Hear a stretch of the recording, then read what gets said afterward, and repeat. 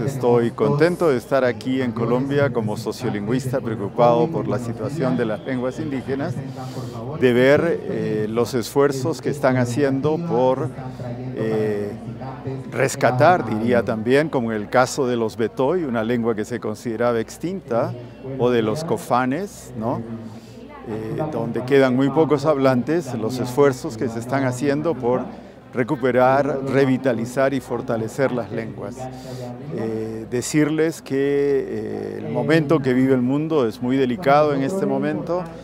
Eh, según los estudios de la UNESCO, se estima que cada dos semanas se muere una lengua en el mundo y eso debe llamar nuestra alerta, particularmente en Colombia, donde hay un sinnúmero de lenguas en peligro de silenciamiento. Entonces, eh, gracias por el esfuerzo que hacen y adelante.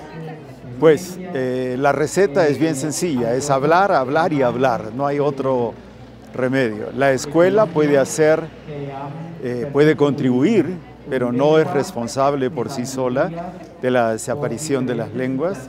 Todo depende de la familia, de los abuelos, de las madres, y entonces allí hay que animar a las madres y a los abuelos a que regresen a sus lenguas de origen, pero para ello el Estado debe hacer lo suyo también, de un lado, eh, luchando contra el racismo y la discriminación contra los pueblos indígenas y en segundo lugar, pues eh, proveyendo estímulos y posibilitando que se desarrollen experiencias comunitarias de revitalización lingüística.